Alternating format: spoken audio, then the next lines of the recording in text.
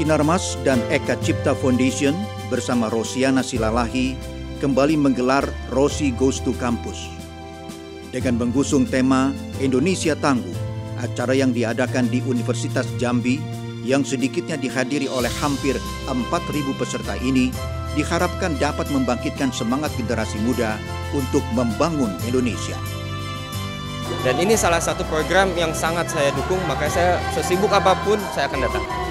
Sinarmas berharap dapat berperan aktif bersama mahasiswa, tokoh masyarakat, dan pemerintah untuk menjadikan Indonesia tangguh. Rasa cinta pada negara akan menjadi fondasi yang kokoh serta sanggup membangun motivasi untuk menuju sebuah negara yang makmur dan sejahtera.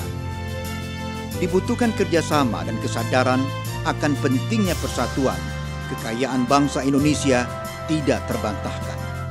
Kita semua harus mengelolanya secara arif dan berkelanjutan. Indonesia tangguh bisa kita capai. Kita ini kurang apa? Manusianya banyak, SDM-nya banyak, pintar-pintar. Sumber daya alam Jambi ini apa? Batu bara ada, gas ada, minyak ada, hutan ada, apa lagi?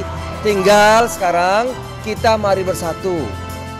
Dengan menerapkan prinsip keberlanjutan tanpa mengesampingkan aspek kesejahteraan masyarakat, pelestarian lingkungan, dan pertumbuhan ekonomi, Sinarmas akan terus mengawal proses pembangunan Indonesia di tiap sendi.